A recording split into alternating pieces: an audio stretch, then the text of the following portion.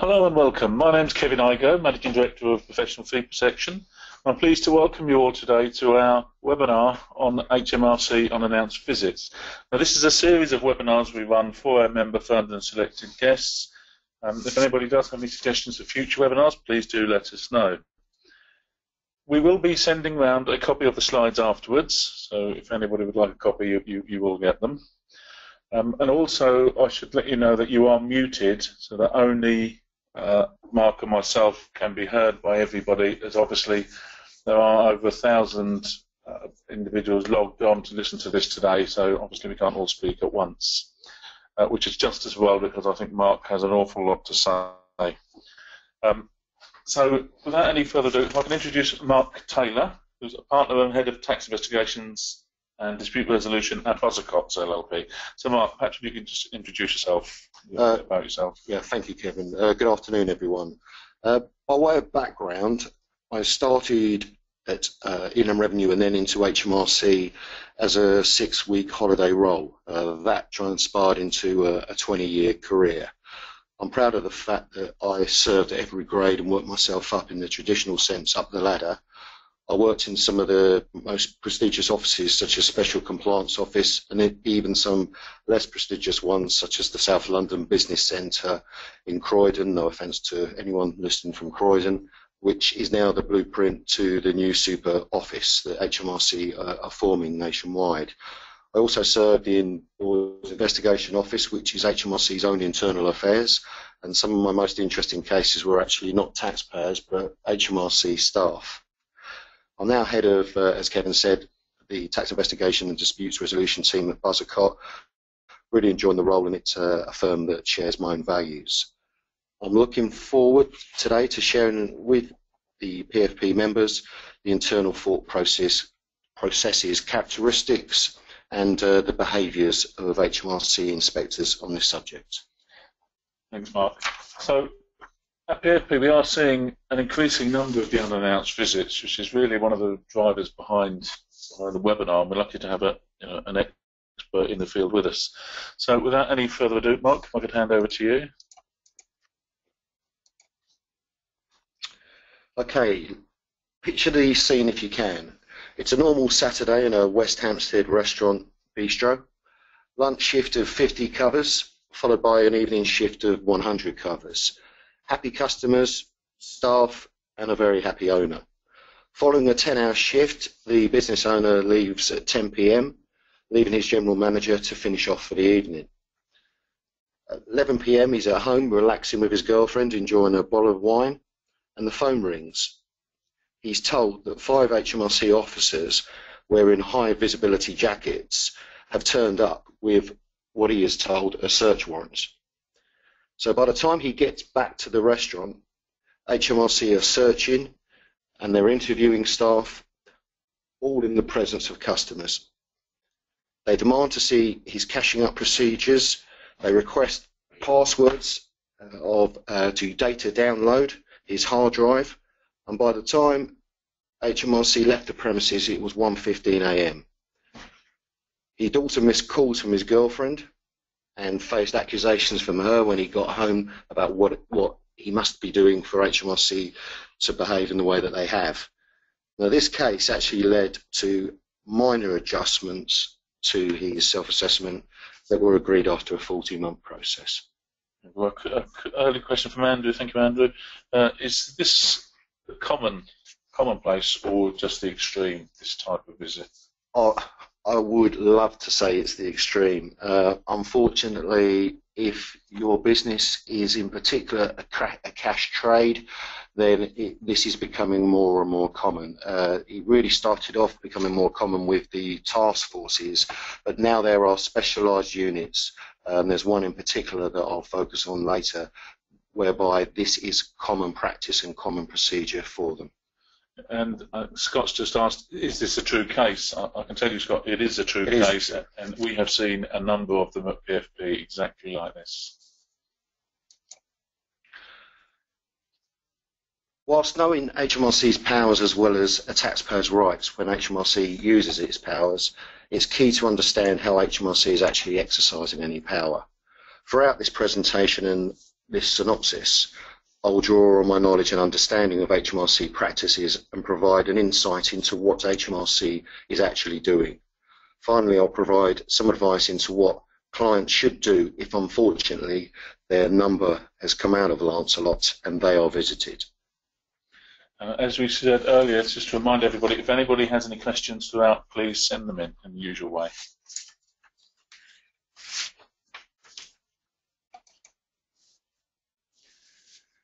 Why do HMRC do unannounced visits?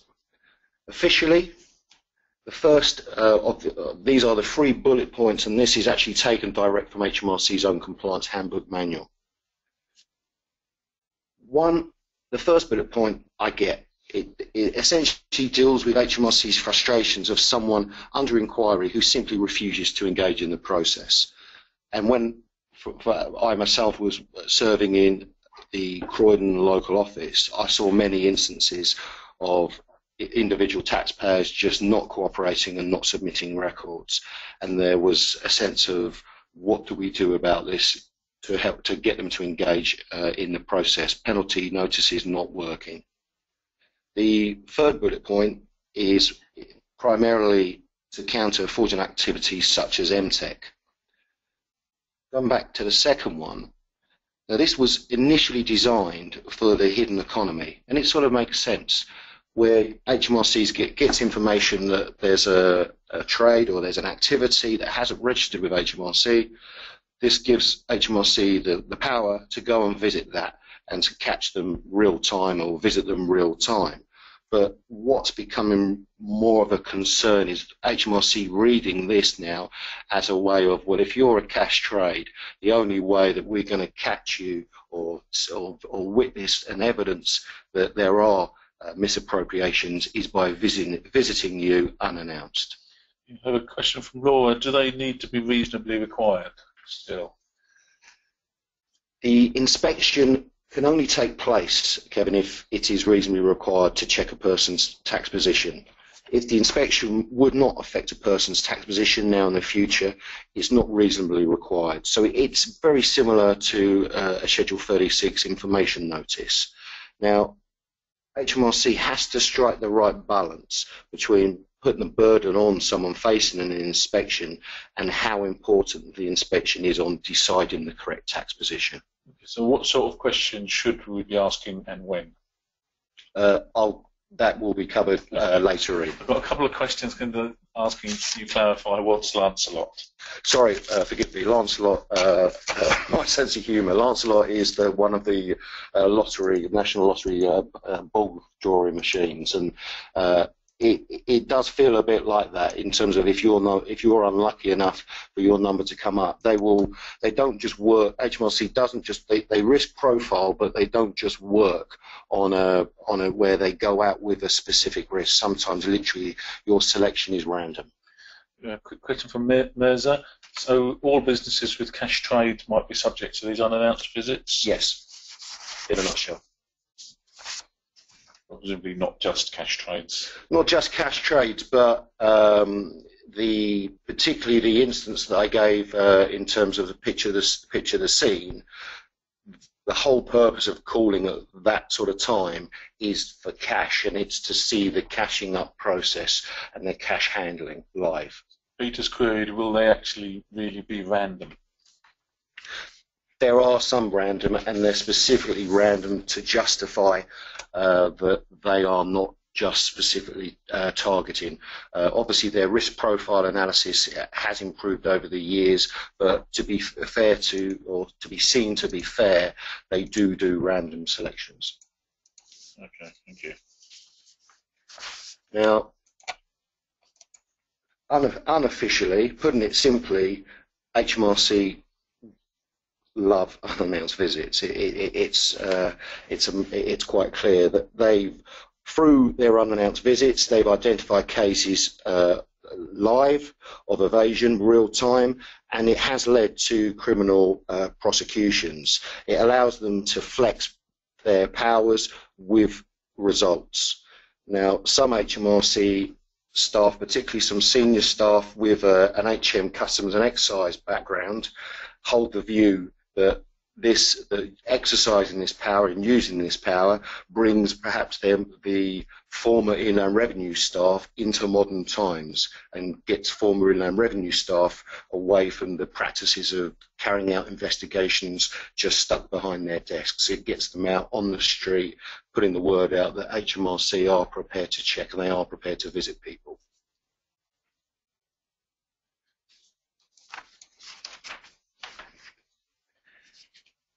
When the powers are being uh, introduced, when the Schedule 36 paragraph 10 powers were being introduced, HMRC said that the visits would be when they suspected higher risk or tax fraud and that it would be the exception, uh, not the norm.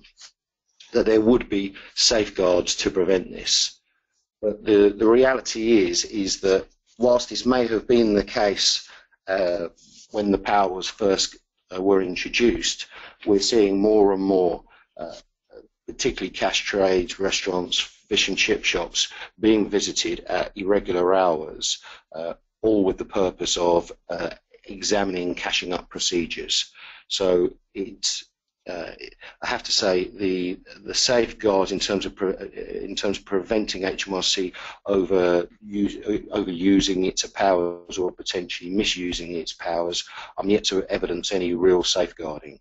The in terms of premises, they're not allowed to enter a, a dwelling, only the business uh, part of those premises. So, it, so for clients who work from home, uh, they should be uh, alive to the fact that HMRC are entitled to visit their home uh, and their business at home uh, and inspect at the areas within the home where the business is uh, undertaken.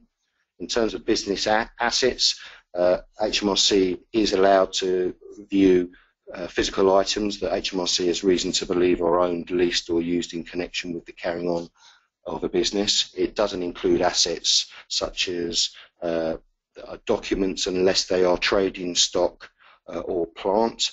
The business documents, uh, the phrase business documents has a narrow meaning uh, and HMRC does extend this, but ultimately it has to be documents that are that relate to the carrying on of business by a, a person and that form part of their statutory records.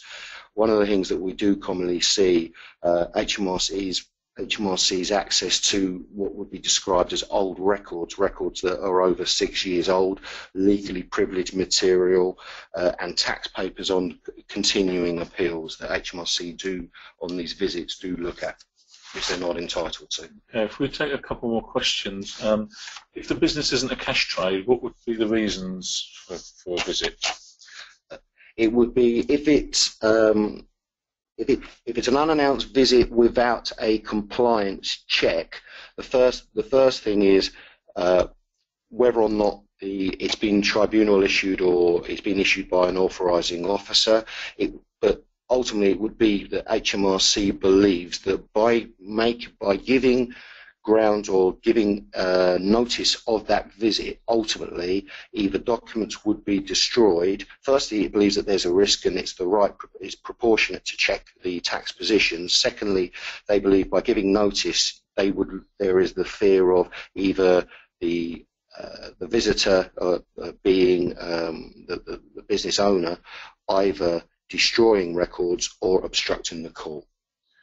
Okay. Um, will, um, will HMRC undertake covert operations prior to a visit? Uh, they say they won't, but uh, they do. Yeah, we've, we've certainly seen cases where they have. Uh, how can they reasonably justify um, visits, random visits, as reasonably required?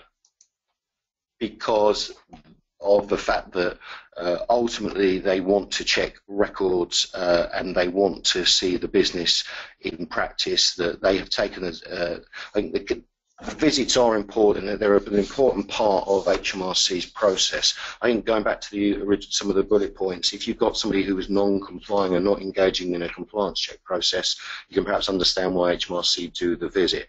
But it's ones in particular where people aren't under inquiry, they go out and do the visit, and essentially after the visit then decide what they're going to do. What happens if the records are kept at the accountant's office? Uh, then the, the, the what would happen is they couldn't then go on. They would, uh, in an instance, it depends upon what time of day it was, but what generally would happen is they would pick up the phone, phone their authorising officer, and get verbal agreement then to go to the accountant's offices to inspect those records. Are the, are the unannounced visits more common for larger businesses where the potential return for HMRC is greater? Uh, no. Uh, I- it, I it, say the opposite. It it uh, it is, but the some of the we, we are talking sole proprietors.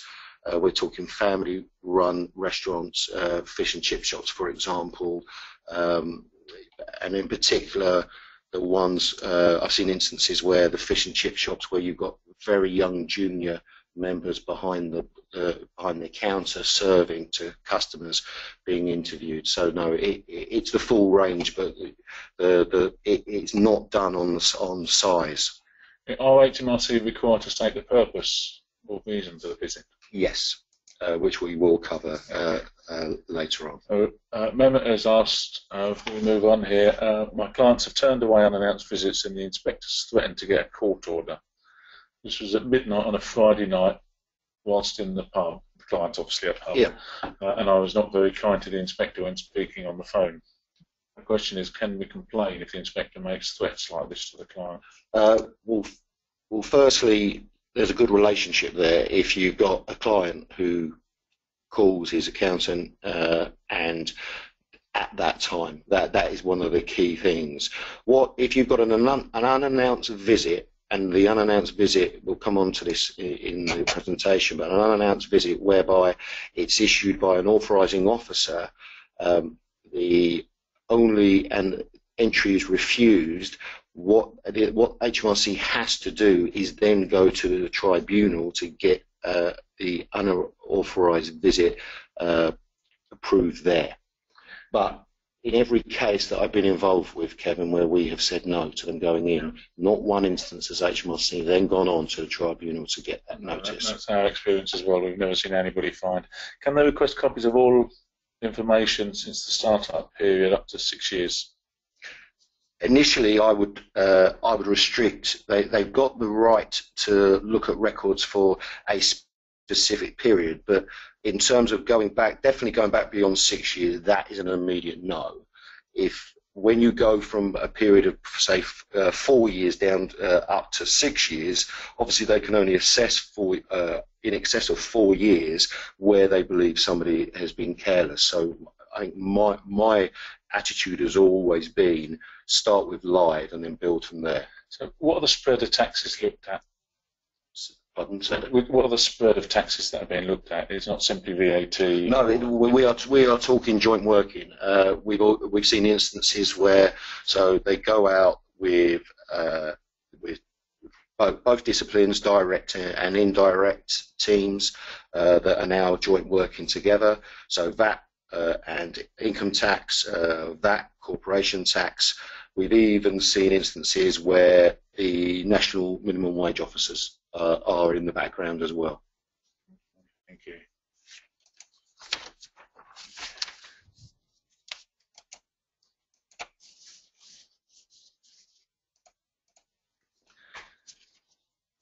Now, one of one of the key things about the the authorization of unannounced visits is essentially the is recognizing instantly that who has actually issued this. Has it been issued by an authorized officer in HMRC? And the level and the degree of the authorized officers that are, that are issuing this are of what I would call a junior level in terms of uh, senior, seniority. Uh, we're not talking uh, going to an old-fashioned, say, inspector type level grade. We're talking uh, at a sort of a, a floor office sort of manager level. Uh, the also the, the worrying one is about verbal where the verbal agreement is given and um, and when HMRC does actually decide to go to tribunal. Typically, they only go to tribunal if that they anticipate that they are going to immediately get direct obstruction so that the, they consider that the tribunal approval gives them more weight.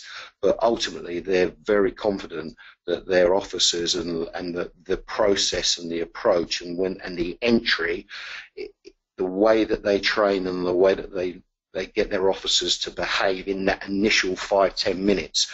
We all say about first five minutes create an impression, and they certainly are trained to do that so that it's almost along the lines of the, the whole issue of whether it's been issued by an authorised officer or the tribunal is just lost in the actual five minute flurry. Now, in terms of what HMRC must do when they visit, um, the the first, the first one, these are sort of the the five, uh, sorry, the six uh, key points that they must do.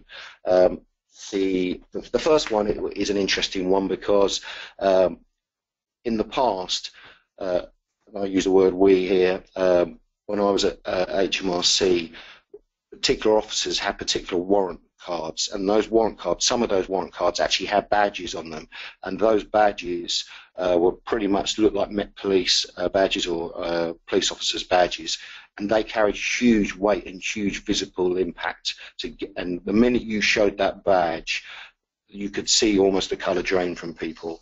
Now, a number of those badges have been withdrawn. So what HMRC does now to create uh, on in some instances is put they wear high visibility jackets. And part of the reason and part of the justification for them doing that is for health and safety reasons of course. It's got actually nothing whatsoever to do with intimidation or to create an impression. On a, the other thing is that the the inspection notice you've got to be uh, pretty sharp when you look at it to, to realise that it isn't a search warrant because it looks like a search warrant. The way it's drafted, the, the just the, the, the visualness of it, it looks like a search warrant. One of the things that HMRC did do is they uh, to say cost, they went from I don't know, uh, they went from pure white to uh, a buff coloured paper they actually like that for the for the sort of uh, the inspection notices because it gives them more of a legal document feel to it. They also bombard you with paperwork, so they give you fact sheet uh, FS4, uh, so that straight away you're, you're, given a document that looks like a, it does, to all intents and purposes, look like a search warrant, and it also you're just bombarded with information. The, they're taught to when they explain the reason for the visits, they're they're told to take control, explain to them that you have powers, uh, so that straight away people don't realize and don't appreciate that they can actually reject and, uh, and turn them away. The, the key one to handle is they are told that they that, that, to tell people that they can call their agent, but there's ways in how to skillfully handle that. For example, do I need my accountant here? HMRC officer who's been trained will turn around and say, that's a matter for you to, to decide, but I don't need him here. Come, if I needed your accountant, I would have gone to him. I don't need your accountant here. I need you here, uh, and I've come here because I want to learn and see how the business operates. Now, also they will say that we're, we're not, we don't have to de delay our inspection whilst your accountant uh, attends if you do phone your accountant or do phone your agent, we don't have to delay things. But the reality is, is that a taxpayer is entitled not to allow access to the premises until his agent arrives. The issue you have is once you let them in and start let them and start the process is then that delay. And what are the consequences if the officer doesn't follow this procedure? It's a lot I can say this from having spoken to people that have been on the receipt of this. When you talk them through this, in terms of did they show this, did they show that, a lot of them are in a state of shock, Kevin. They, they, there is not something that they necessarily, there's no checklist that the HMRC has to give to say uh, and get a taxpayer to sign to say that I did this, do you accept I did that? So when you actually go through and explain this, did they tell you this? Some can't remember, Some actually say no, they didn't, uh, uh, are, are, adamant that they didn't. And obviously, uh, when you actually see the HMRC note of the inspection, you can rest assured what the HMRC note, notice of inspection does say. Yeah, when they explain, another question uh, from David, when they explain the reasons for the visit on that last slide, um, how vague can they be? I, can they simply say, I'm checking your tax affairs? That's essentially what, what they do. They uh, they say uh, the way it comes across and the way that you deliver it is that you deliver it in terms of that you say that you have because they do have various rights, but the reality is is they have to be allowed onto the premises to do their job. Okay, so when they have to explain the reasons, it's like a chocolate teapot. It is. Protection. Yeah. It looks good, but it doesn't do an awful lot. Yeah, and uh, and it's all down to the way in which they deliver it. When you see them, uh, when you know how they deliver it, it's delivered in such a way, it's so officious that you just think, I've got no right here. Yeah. Okay. Thank you. Now, on the next slide, uh, here I've put what I call the uh, the seven deadly sins in terms of what HMRC must not do. Um, now, in terms of one uh, the the person is made because of the way HMRC conduct themselves, the, the numbers of them, uh, sometimes just the sheer embarrassment of having HMRC come in when customers are there. People feel under pressure.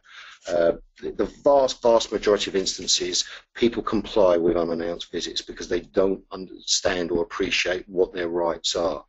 Now, HMRC, in my view, commonly fail on the on the final five um, the in terms of conducting searches and interviewing uh, uh, persons. You know, I know of instances where they've interviewed junior members of staff. We're talking people below 16 year, years old or in around 16 years old uh, that they have that they get a, a permission to conduct a search. Can I look over there? Yes, and people comply.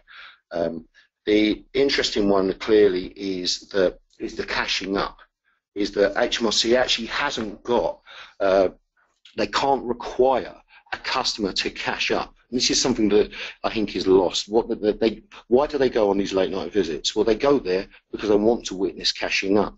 Now, if a customer or is is about to cash up, or it's their no more process, then HMRC has the right to stay on the premises whilst they carry that out.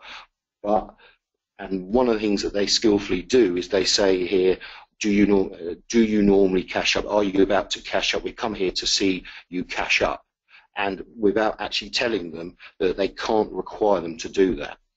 Now, uh, also one of the things as well is that where we see mixed, uh, where businesses uh, working from home, the areas aren't segregated, and HMRC uh, I'll give you an example. We had one where uh, it was a kit car business run from home, and HMRC turned up unannounced to see the kit cars. Well, the reality is, is the kit cars they were made off-site and the parts sent to customers, but that process allowed HMRC to get in, and the real reason of getting in that home was to look at the person's lifestyle and means.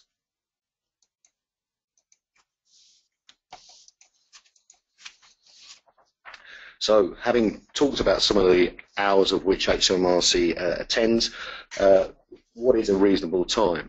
Now, again, I've quoted here direct from HMRC's own instruction manual, and this is a manual that I regularly look at uh, and regularly qu quote and preach to HMRC because a lot of instances they don't follow it.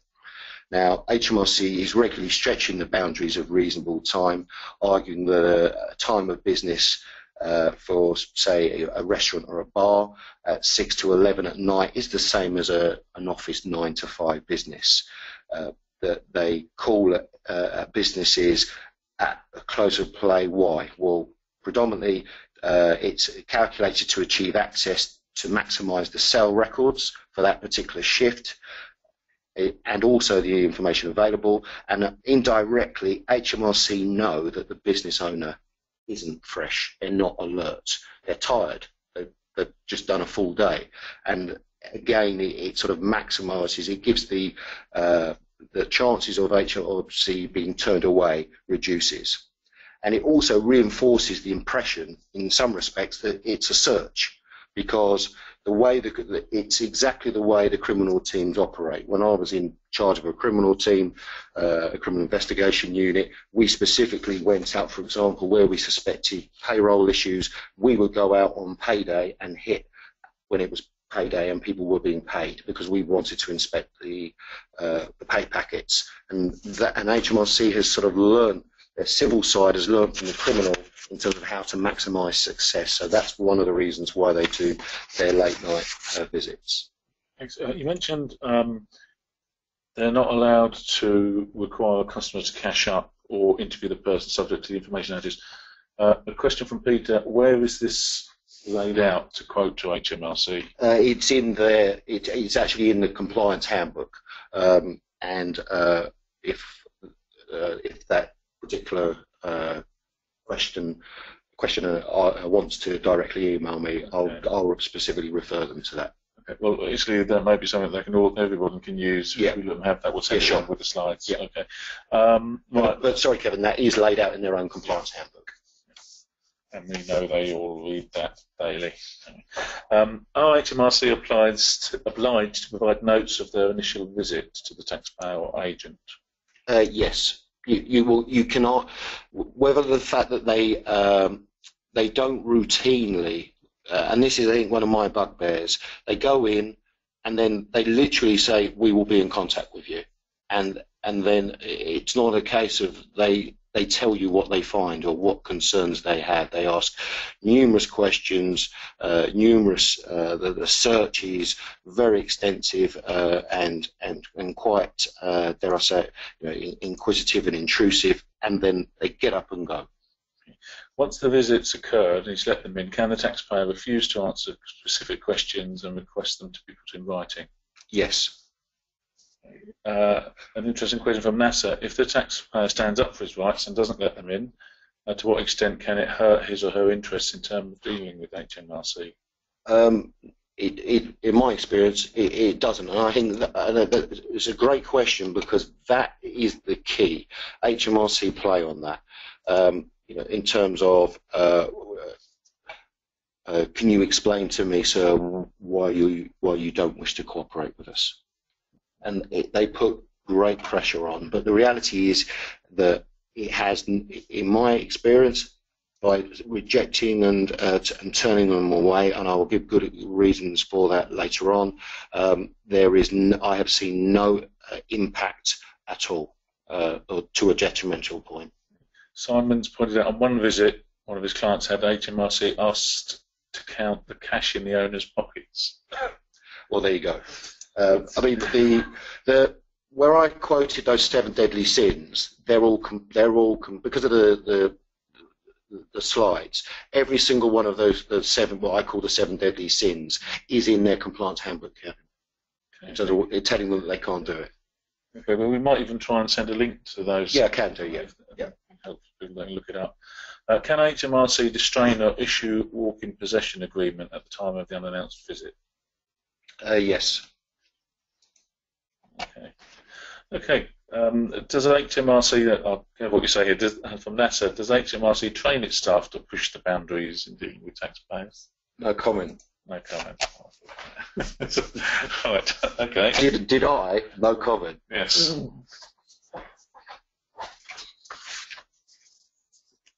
In terms of targeting particular trades, as I've said uh, and alluded to earlier, I totally get the, the powers uh, and why they're needed for non-cooperative taxpayers. I saw that myself when I was in uh, when I was senior inspector in the Croydon office and, and the frustrations that certain in, in investigators had with non-cooperative taxpayers. I understand and get the hidden economy cases where you want to go out and bring people back in or people get people into the club and the unannounced visits clearly uh, facilitate that and help you identify what their uh, tax position is. Uh, my my my big bugbear, and this is why I'm sort of championing uh, the unannounced visits, is the cash trades and how, in my view, they are being victimised. Um, There, HMRC has dedicated joint working teams, as, as we've explained, and this one particular unit is something that if your client is involved, uh, hospitality or le uh, leisure industry uh, with cash, um, pubs, bars, uh, fish and chip shops, this one unit is on a crusade where they are going out into uh, Friday, working Friday, Saturday evenings, uh, and they are calling unannounced at business premises nationwide. And this unit is feeding cases then into uh, a criminal uh, and also civil process. They're almost, it's a bit like, um, you know, uh, excuse the pun fishing, they're out looking for cases and once they find it, find something, they're then referring it on for a compliance check or a criminal. So this is one unit that, you, that people really need to be alive to.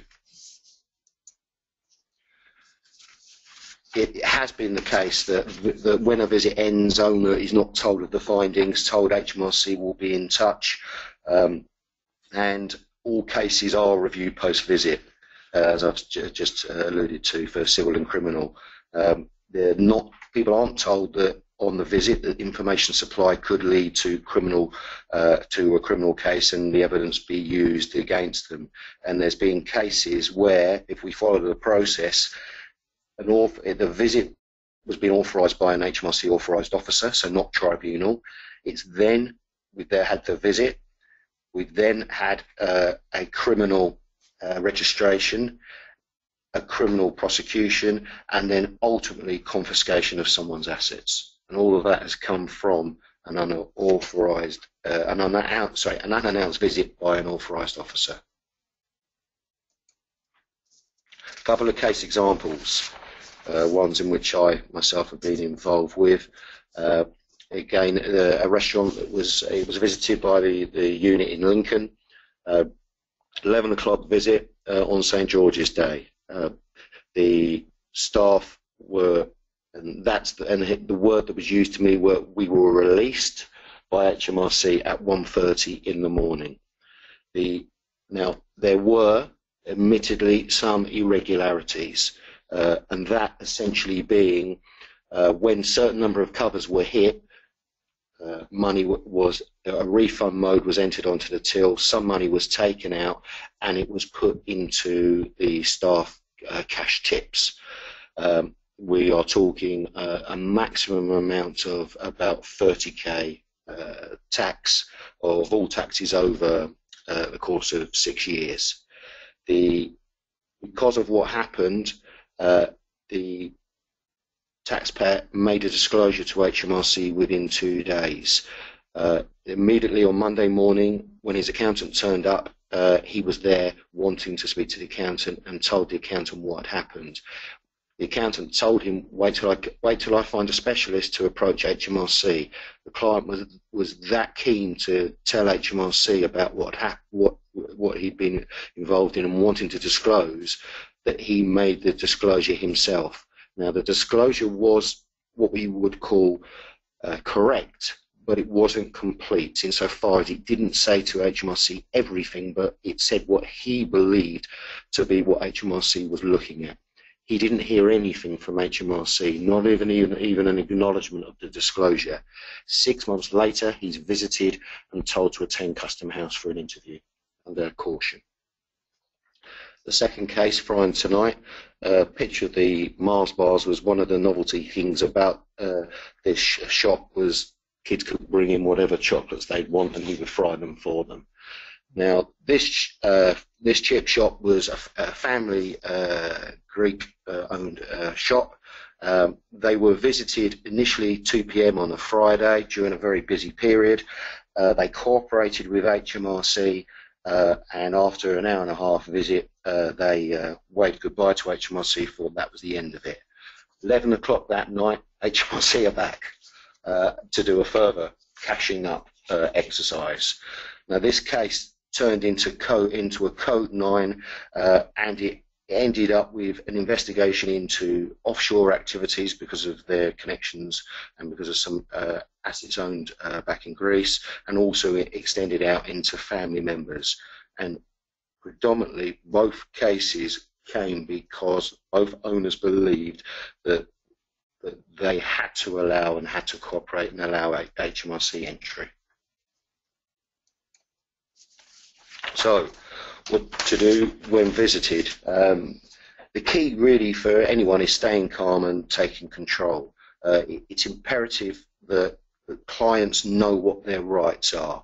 Uh, if customers are on site, the immediate thing clearly is damage limitation. So is there somewhere that uh, HMRC will go in, they won't just go in one person, they'll go in literally with the five or the three uh, and be highly visible. So is there any way in which that can, the damage limitation can be can be handled? Um, there's in, and it's important that the following processes are checked because we have seen instances where there's more officers that are on site than are actually on the notice. There's different names. You know, for example, Marjorie couldn't make it, uh, so uh, somebody else from HMRC turned, uh, attended in place. Uh, the times are different from what's actually on the notice. The dates are different. And also there's a concern in terms of how do you check identities, particularly when somebody's calling at 11 o'clock at night. How do you how do you check the persons or who they are, what they say they are, by speaking, to, phoning back and speaking to uh, HMRC or the authorising officer. But without question, the client must call you. The the the, the client must refuse entry until such time as you uh, or an agent arrives. That is uh, key. In terms of uh, what I call my five golden rules, in terms of what is reasonable and proportionate, but now this is particularly where, for me, uh, the because a lot of a lot of what these five rules they would be, Kevin, considered by the tribunal judge. So for me, these are the questions that I, that I go through because this is the process by which the tribunal judge would apply. And I want to make sure that HMRC meets, uh, meets these standards, and if they don't, then that would be reasons for me to uh, refuse them entry.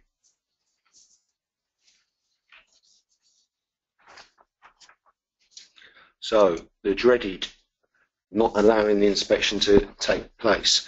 Now, I have to say this the the way in which the, the HMRC uh, and the, the, the leaflets and the paraphernalia are about this, it's very difficult to actually pick this up, and uh, and that is is is the way in which you you don't allow an inspection.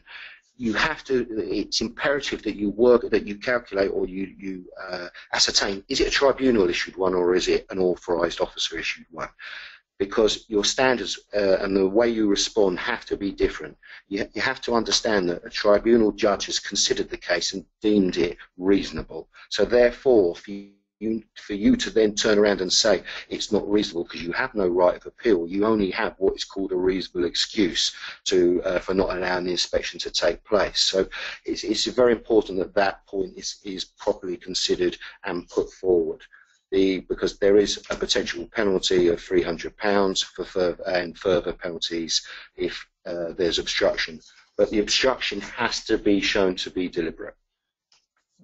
So we've got a few questions there for catch up on. Uh, yeah. Is not allowing is is that your you can't get hold of your accountant at the time a reasonable excuse that you want professional representation? They're denying it to you. Yes. Okay. Um, well, I've got a couple of specific ones here. A couple. Uh, are car dealers, hairdressers, or taxi drivers targeted in your experience?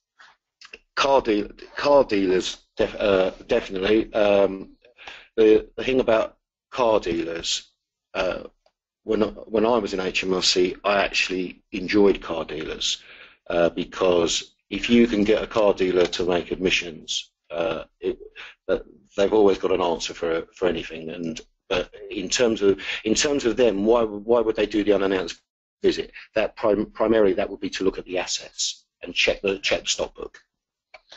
Uh, hairdressers we have seen, um, health and beauty salons we've seen them yeah. get the unannounced visits. Taxi drivers not so much.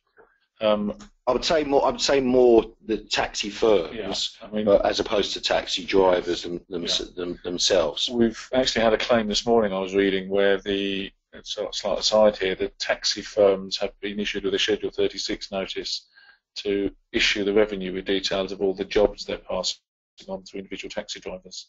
Okay. Like cab call and whatever it's called. Um, right, we mentioned that the visits do need to be reasonably required. Do HMRC have to make any reparation afterwards for reputational damage? Uh, all HMR, one of the things that HMRC prior to the visit is they look at, uh, in many respects, they, their biggest concern prior to the visit is not the disruption, it's actually their own uh, health and safety. After the visit, all they have to do is, is confirm internally that, there have been no uh, incidences of that nature. Uh, in terms of reputational uh, damage, uh, I'm not aware of any case where HMRC has accepted uh, any fault or blame. Okay. Um, what sort of questions can be expected of a trader who's dealing mostly in cash? Is showing a cash book enough? they're interested in uh, cash handling, cash storage. H- HMRC uh, hates cash. Uh, they they view it as that there is easy scope for uh, misappropriation, uh, uh, and so it wouldn't just literally be. I mean, as I've as I've alluded as shown earlier, they can't inspect cash unless it's part of Cash's the trading stock. But they will. The way in which they'd ask the questions, it their justification would be, or the way they deal with it, is that they've been invited.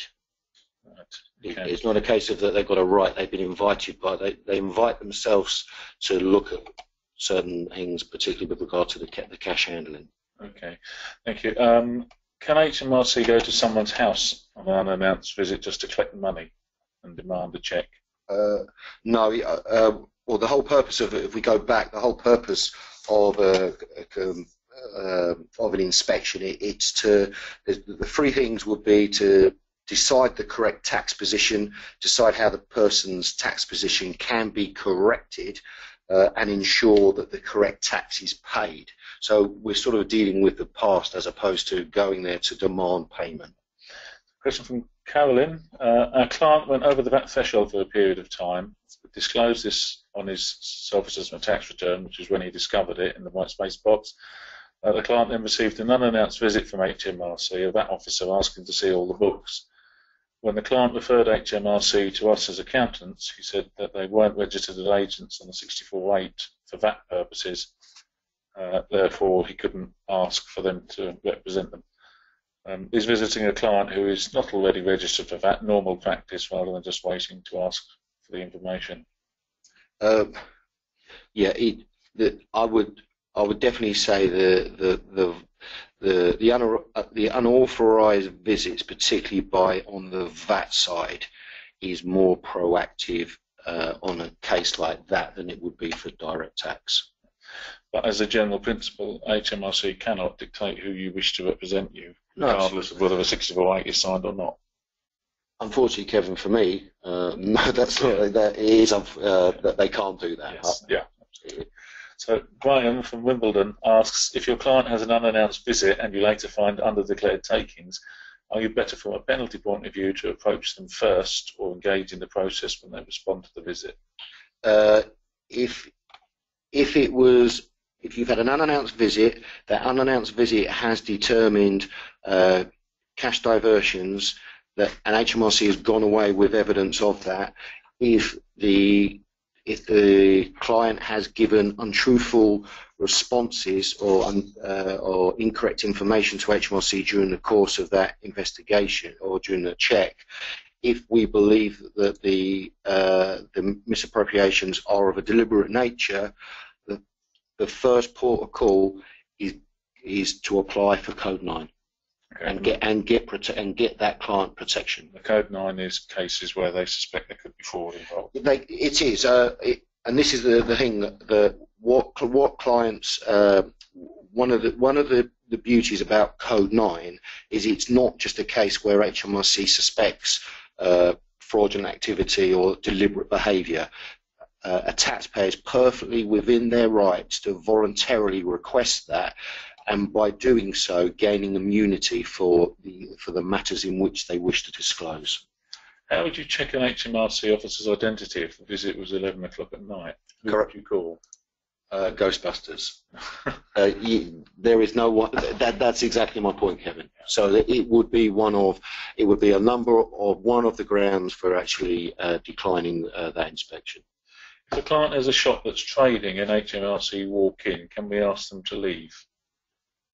Uh, yes, they've got uh, they've got no. Uh, it depends upon uh, obviously what they're in there for and the purpose of what, what they're there for. Clearly, uh, if you've got a an they got there's certain rights that they have in terms of entering premises, but what they can't do is if they're if they're told to go away, they can only then visit by way of a tribunal notice. Okay. Can you give some examples of reasonable excuses? Got a number of these. Okay, we'll come on. We'll we'll come Okay. on. Um, Okay. The case studies you quoted appear to demonstrate criminal or dishonest behaviour. Ethically, there's surely no excuse. And if the visit was opposed, are we not condoning that behaviour? Now, what in the in the uh, in the the, the, the two instances, the well, actually I've given three examples, Kevin. What Yeah. for the first one, there were there, there was absolutely nothing. I mean, we, we are talking minor adjustments. The second one, yes, we are uh, accepted. There were some. Uh, uh, irregularities, but those irregularities that that particular person uh, attempted to disclose them. Um, what I'm not saying is I'm not for one minute condoning uh, criminal uh, behaviour, but what I am saying is that the that what taxpayers uh, are not uh, given the proper through this process the proper opportunity to essentially get their affairs in order if there are some irregularities um, and do so uh, without protection. How likely are HMRC visit to check accountants' records, i.e., make an unannounced visit to an accountant? it, it, it does it does happen uh, in particular with regard to uh, where you've got a, a non uh, non cooperative uh, taxpayer for sure, uh, but fundamentally the the unannounced visits are all about getting into the the business premises. Uh, there, there- are, you know, they've got they've got information power, separate information powers uh, to request uh, records from an accountant. They would only go into an accountant's uh, if they suspect that that, that, that accountant would be uh, obstructive or there would be loss of paperwork. Okay. Question from Julie: Would there be an issue with filming the visit? Uh, that's a good question. I've, I've, I've, I've never uh, come across that. Uh, I think HMRC officers, if they were filmed, I think they'd be very quick to get off the premises. I have to, I have to say. This would probably go back to the recording of meetings as well. Yeah, They, you can if they give permission, but you can't without their permission. yeah. And uh, I, but if somebody wanted to film them, I think it would ultimately lead to HMRC leaving the premises. Um, Peter asked, can you call the police to eject HMRC if the taxpayer doesn't want them to come in? Uh, well, what they should do is if you if you uh, deny them entry, if we go back to my seven sins, uh, they shouldn't uh, they shouldn't enter. So the re- the reality is is uh, you know, they might stay outside for five minutes with a tail between their legs, but they should soon depart. So if you let them in and you subsequently decide, actually, I don't want you to remain, you can ask them to leave, and do they have to leave? Yes, yes, you can you can ask them to uh, to withdraw. You mentioned about cashing up. They can only watch you cash up if it's in your normal business operations. Can they wait around for two to three hours to watch you cash up?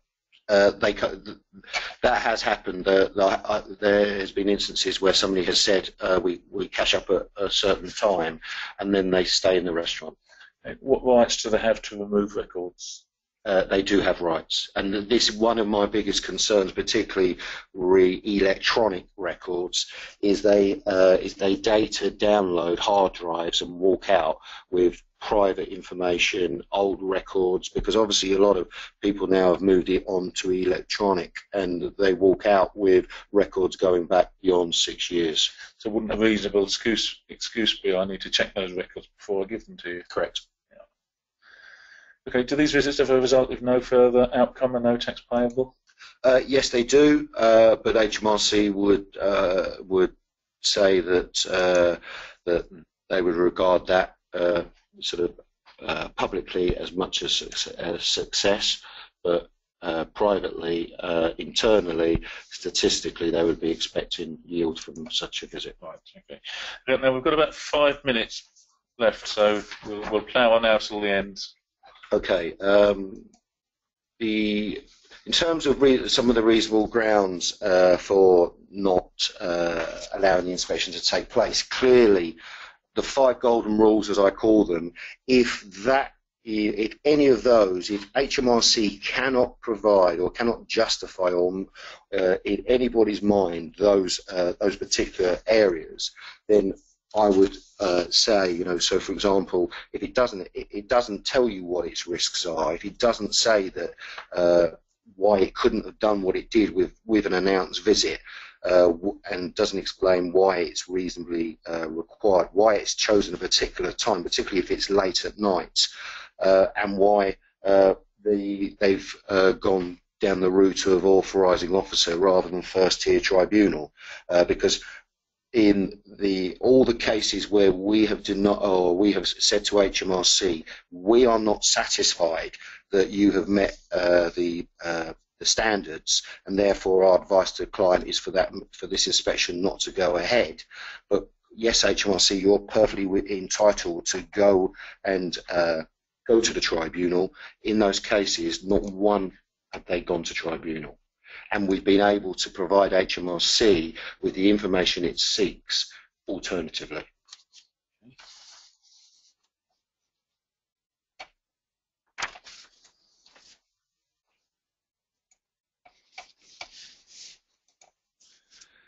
So, in conclusion, uh, I would concur that the, the, the powers are justifiable uh, for cases where there's non-compliance and com, uh, combating uh, tax evasion, uh, particularly uh, hidden economy.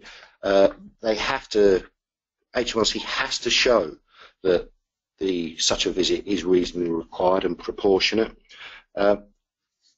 one must understand the difference between a tribunal issued notice and an authorized issued authorizing officer issued notice because the, the huge difference is is and it's difficult to pick this out but the truth is non-compliance with a tribunal will lead potentially to a £300 penalty non-compliance with an authorizing officer issued uh, notice and if, if, this is the one thing to be taken away from uh, this presentation is this tribunal no right of appeal equals a potential penalty.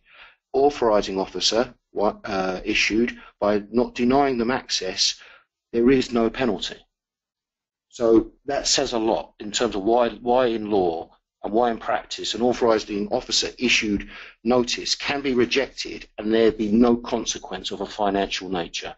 So the, it's, it's very important that people understand that and then tell say to HMRC, fine, if you want to do an unauthorised visit, go to a tribunal. But we want to cooperate with you. Um, and obviously, uh, it, it's for my sense of purposes, and one of the things I'm trying to champion and get publicity on is the fact that particular trades are being targeted, and they are being, in my view, targeted unfairly with late night visits, and and people, uh, and we're talking small businesses put under huge, huge pressure, uh, and, and, there is a an emotional uh, uh impact uh, and a business impact. You know, uh, we had one guy who's one of his best clients was there, customers was there, and he witnessed HMRC coming in with a high in high visibility jackets. It, it was just awful for him uh, and for that particular business. So again, it's one of the things that I'm attempting to champion at the moment. Okay, thank you. Uh, a few last uh, points and questions. Uh, from Michael, the £300 penalty is not a lot. Is it worth taking the penalty for peace of mind? Uh, you only get the penalty, obviously, on the tribunal one. Um, I think the one has to recognise that uh, the first tier tribunal judge, for him to have been satisfied, I think in the in those sort of cases, and with my knowledge of what is going before the first tier tribunal, it is pretty much in cases where HMRC believes it's going to have or going to receive deliberate obstruction. So, but in the vast majority of the cases that, I, that I'm coming uh, aware of, we are talking author, authorised officer issued notices. No, yeah, no penalties. That's us as well. With the, all of the ones we're seeing now are authorised officers. Um, then you've got to beg the question: Why aren't they going to tribunal? Yes. Yeah. Um, although I'd have to say, for me, I'd pay the three hundred pounds I wouldn't let them in, but that's just my personal opinion. Um, the inspector has uh, some examples of visits. The inspector was allowed refusal as the client had young children and therefore it wasn't reasonable to expect them to come to the premises. Uh, I, I definitely, I'm aware of that for sure on uh, where they visit dwellings where they're, they're, there's a business run from a dwelling. Um, in terms of uh, the if a proprietor has got children there, particularly if they're about to go home, etc., then yes, that would be, uh, I think, I believe, sufficient grounds. But obviously, if we're, if we're talking about an authorising officer issued uh, notice, my view on those are wholly different from tribunal ones. As a general rule, in your opinion, um, rather than anything official, is your advice, if it's signed by an authorised officer, to simply turn them away and say come back when it's more convenient? I would I would say that in the vast majority of cases, or in all cases that we've been involved with, where we have gone through the five golden rules, HMRC has failed, Kevin. So therefore, based on that, on them not being able to justify it or satisfy myself, they've been rejected, and in every instance, they haven't gone to tribunal, and we've been able to provide that information by alternative means. So it wouldn't be a case of simply rejecting it. I prefer, my approach is to make HMRC uh, uh, not meet its own standards to my satisfaction, reject, and then uh, pick up the pieces the next day in terms of cooperation. Peter says he may be missing something, but if HMRC must leave if requested, why does anything further happen? So, sorry, I'm not. If HMRC can be asked to leave, why does anything further happen? Because they're going to want to continue the compliance check. You won't.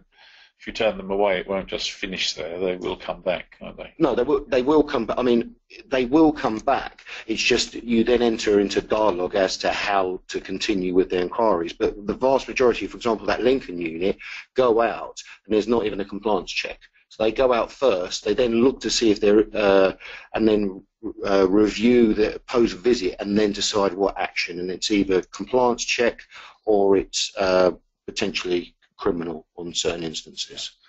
Uh, and lastly, HMRC visit was scheduled. They came to ask how the business was run.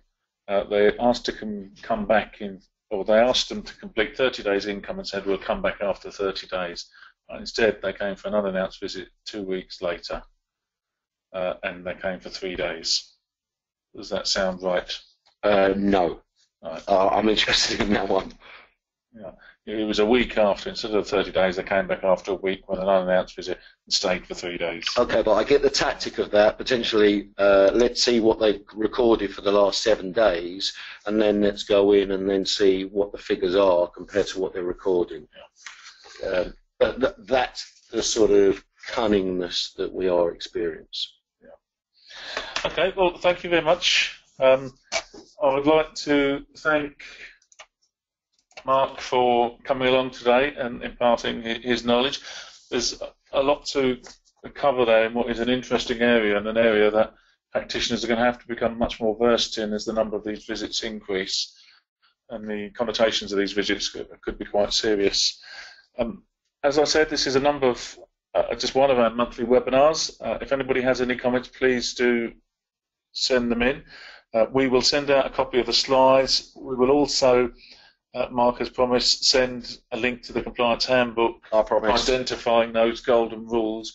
Some of you may want to put them into some sort of a, a newsletter, and I know at PFP we've written an article for firms to show to their clients. Uh, if anybody wants that, please get in touch. Lastly, I'm obliged, due to my sales director, uh, to plug our UK Tax Investigations Conference this year, 13th of October. Who's interested in booking earlier, um, like now, please go online and do so. With that, um, thank you, Mark. No problem. Thank you very much. Um, we hope to speak to you all again soon and hope you have a good day.